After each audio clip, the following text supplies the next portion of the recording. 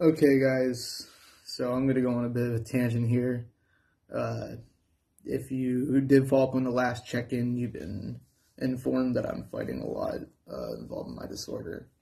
And I just want to give you the update that they possibly won't be covering my medicine. Now, I'm not going to get all worked up and yell at the camera like most YouTube musicians do. I guess when they're talking to their auditions or what? Auditions? What the fuck am I talking about? Audiences audiences. My bad. And um, I just want to say, what the fuck are you doing? Okay, so let me try to break down my disorder for people who don't know it, all right? This is for the people who completely don't even know what my disorder is. I have maple syrup urine disease, and that is a protein deficiency. Something I was born with. I didn't contract it, I didn't get it, and I didn't grow it later in the years. It didn't come out of nowhere. It, there's no way it could hop out of my system out of nowhere. Nothing. What angers me is when they think that I don't need the necessities to care for that.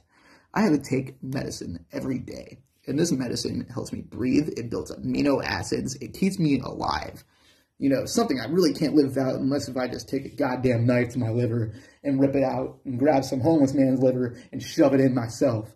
But you know how that's going to work. That's not possible. That scenario is not possible without the team, you know. Uh, so where does my rant begin with this? One, social services, fuck you, okay? I always been against the system. That's like my punk route. But right now, at the moment, I'm bringing you fucking down. All right.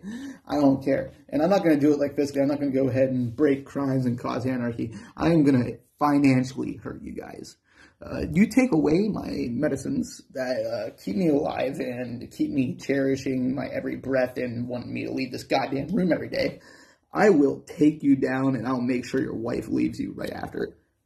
I will bring this to court if I have to. They plan on taking my medicine and they do not plan on covering it. Okay, so let me get this straight.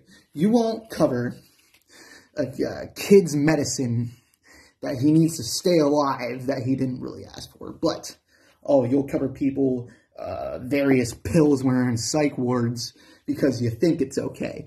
Uh, you'll give people Narcan because apparently overdoses are more important than metabolic disorders. No, one, you all got the system fucked up. It's all sorts of fucked up. And I don't care who I offend by saying this. This is dead ass truth. They don't give a fuck about you guys. Social services, fucking, uh, you know, the people who run the medicine shit, you know, the people who run uh, your disability checks, the people who run everything, everything that goes around, you're just a number. Okay, you're just a number. But you fucking listen here. I am not a number. You're going to remember my name and you're going to remember my case. And when I win this, and when I look back on this video and laugh that I ran it over nothing, then okay, because I'm gonna win. You're all gonna lose. You seriously think that you can take away my medicine and kill me off? You guys have just dug yourself the biggest sinkhole you dug in a while. And that's a that's a whole track record because these last three years the government hasn't been doing it right, right? and I'm not going to blame that on the right side or the left side. I'm not political. Fuck politics. I just think the government in general is stupid as shit. Uh, but the thing is, uh, when it comes to taking my shit away for no reason, I will drag you to court. I will call the senator. I will write the board members of the state, and I will raise tooth nail hellfire on you guys, all right? This ain't done yet. And for people in a similar situation who has like a sickness and the government kind of tweedles and fucks with you around too, this one's for you. I'm not only doing this fight for me. I am literally sticking up for sick people that don't get the treatment that they deserve. And it's unbelievable. My friend, who's a really good friend of mine, by the way, he went to a mental hospital and they give him over five medications that he did not need. And he and his family agreed that he did not need. But some fucking pouches that have the drink every day just so I can stay alive. Uh, apparently, they ain't gonna give me unless they feed it through a tube. Uh, well, I won't have a chance to be eating it through a tube because if you don't give me it, then I die. Okay, so I want you all people, you know, you suit, necktie, three meal eating, full family functioning, having asses to really think about what you're doing to yourself because you are sinking yourself.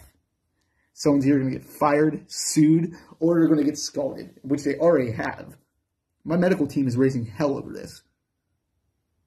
I am not going to lose. I am not going to back down. You privileged fucks are in for a ride.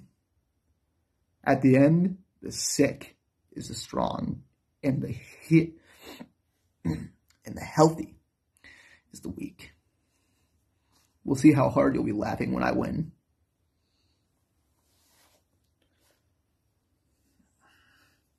What the fuck am I drink?